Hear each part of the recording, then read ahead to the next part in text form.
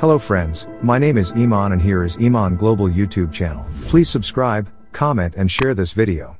Thank you for supporting this channel. In this tutorial, I will teach you how to access Adobe Firefly, an artificial intelligence tool, completely for free. In this video, we will be working with the free features of Firefly AI, such as text-to-image, generative fill, and text effects. So stay tuned until the end of the video, and you will learn some valuable insights about artificial intelligence. To access the Firefly Artificial Intelligence, we open the internet browser and enter the website address that you see. As you can see, Firefly.adobe.com offers AI capabilities such as text-to-image, generative fill, text effects, and generative recolor, which are available for free. Some of the AI features are currently inactive but will be released soon. Further down, you can see beautifully crafted images generated by Firefly's AI. Additionally, there's a video showcasing the Firefly AI and some of its developing features which will be provided by Adobe in the near future. Now, we click on the gallery option through the main menu of the website. This way, we have access to the gallery of images created with Firefly AI, and we can examine these images. They can serve as inspiration. To start using Firefly AI, we need to sign up and create an account on the Adobe website. Don't worry, everything is free. After registration, we can log into the site and take advantage of Firefly's AI capabilities. After creating an account on firefly.adobe.com and logging in, it's time to unleash the power of Firefly AI. As you can see, we click on the text-to-image option to enter the exciting section of creating images using prompts. In this section, you can see images created using prompts, when you hover your mouse over each image, the try prompt option is displayed. An interesting point here is that by clicking on it, you will be taken to a new page where you can see the prompt for that image, and also create a new similar image with the same prompt. A bit further down, there is a text box for inserting a prompt. I have a ready prompt.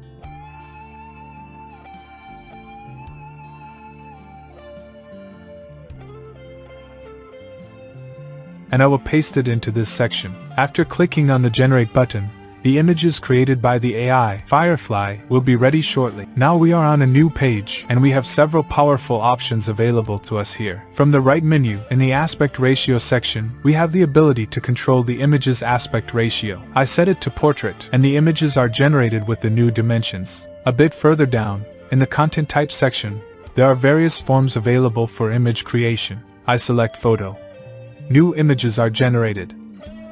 At the top of each image, there is an icon for free image download. After downloading the images, I set the content type option to graphic to see the result of this visualization form. The AI generated images by Firefly are very attractive. Let's review them.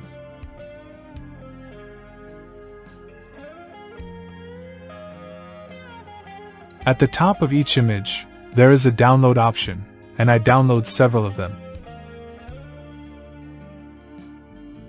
A bit below the content type, there is a feature called Styles, which itself has multiple categories, and I test them.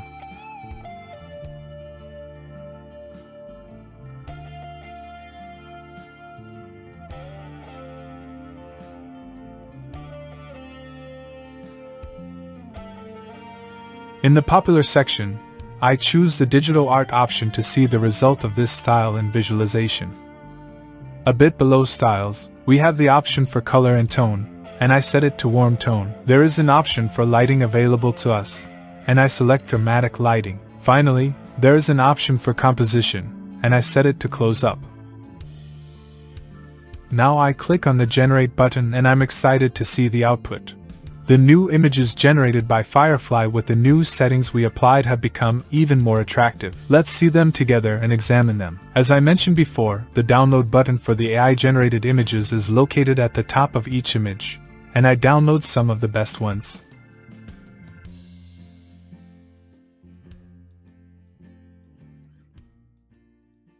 After exploring the text-to-image process by Firefly, I now want to introduce an exciting feature to you, and that is nothing but try prompt. For this purpose, we go to the gallery page of Firefly's AI-generated images. As mentioned a little earlier, by hovering over the images, we see the try prompt option. I click on Try Prompt, and what happens is that new images are created based on the same prompt that was used to generate the current image. The interesting thing here is that on our new page, we see both the previous prompt and the settings used to create the image. We can edit them and create new images with the same previous prompt. I click on the refresh button to see the new results for this prompt. I like the new images, let's examine them.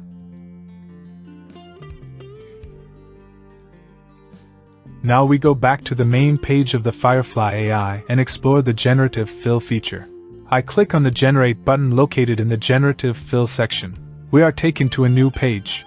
On the new page, we have the option to upload a desired image or use existing images to test the power of the generative fill system. I upload an image that is stored on my computer's hard drive. After the upload, we have access to the generative fill capabilities. Now we have a brush at our disposal. I want to change the character's outfit. So I use the brush and draw it over the clothing to select it. Now, in the prompt section, we can specify any outfit and color we desire for the AI to generate in place of the character's current clothing. I enter the option Black Suite. Next, I click on the Generate button and wait for the final result. New images are generated. We examine them, and they are interesting, but I don't like them. Now, I click on the Cancel button and increase the brush's range on the image.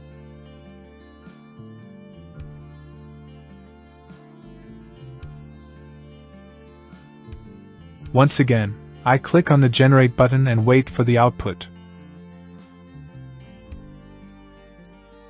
The new images generated by the Firefly AI are slightly better.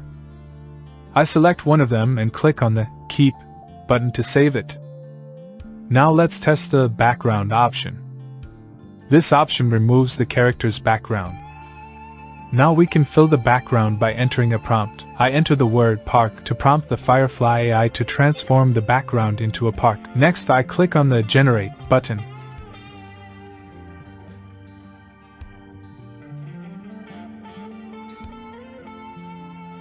The AI-generated results are very attractive, but I expect more from Adobe.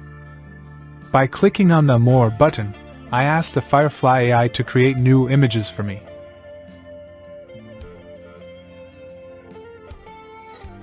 The new images are better. I select one of them and click on the Keep button to save it. Now I want to challenge the Firefly AI. I select the character's eyes using the brush and ask the AI to create glasses for the character. For this purpose, in the prompt section, I enter the word glass. Then I click on the Generate button. The results are fascinating. Let's examine them. The AI-generated results are very good, but my expectations from Adobe are much higher. By clicking on the More button, I ask the Firefly AI to create new images for me. The new images are better. I select one of the new images and click on the Keep button to save it. After the process is complete, we have access to the Download button in the top right section. I download this image. Now I want to go back to a previous step and explore the generative fill system using the images provided by Adobe. In this section, I click on the Try Example button. I click on the Background option to see the power of generative fill in removing the background. Firefly did a good job in removing the background. Now, to fill the background, I enter the word park in the prompt section so that the background is transformed into a park by the Adobe Firefly AI. Now I click on the Generate button.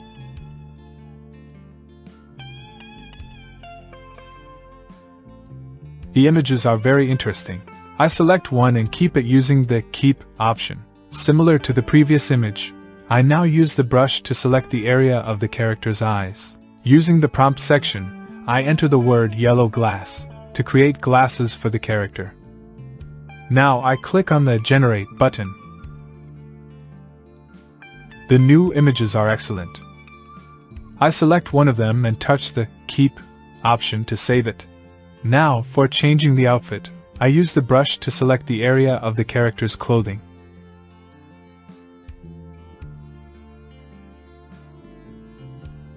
In the prompt section, I enter the color and type of clothing. Now I click on the Generate button.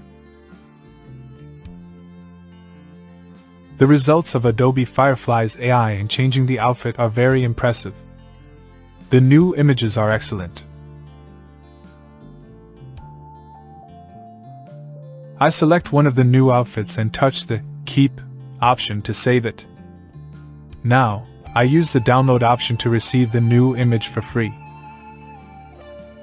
Now, we return to the main page of the website and explore another option of the Adobe Firefly AI called Text Effect. In the Text Effects section, I click on the Generate button. On the new page, we see stunning text effects created by the Firefly AI.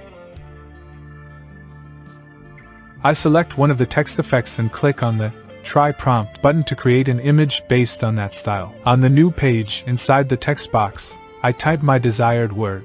A new text effect is created by Firefly based on my word. From the top right section in the sample prompt branch, by clicking on View All, we can see all available text effects and apply any of them to our own word with just one click. I randomly select one of these text effects. It quickly applies to my word. It is very exciting. Under each image, there are four thumbnails representing different variations of the same text effect. You can choose them to apply a new variation to your word. I do this step. On the top right of each image, there is a download button to obtain the images for free.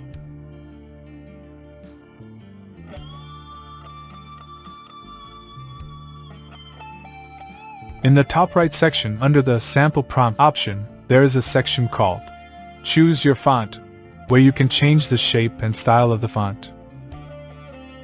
A bit further down, there is even the possibility to control the background color. I change the background color to orange.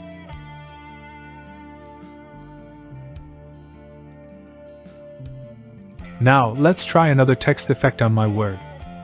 Using the thumbnails below the image, I select another variation of the same text effect. And now, using the button at the top right of the image, I download this image.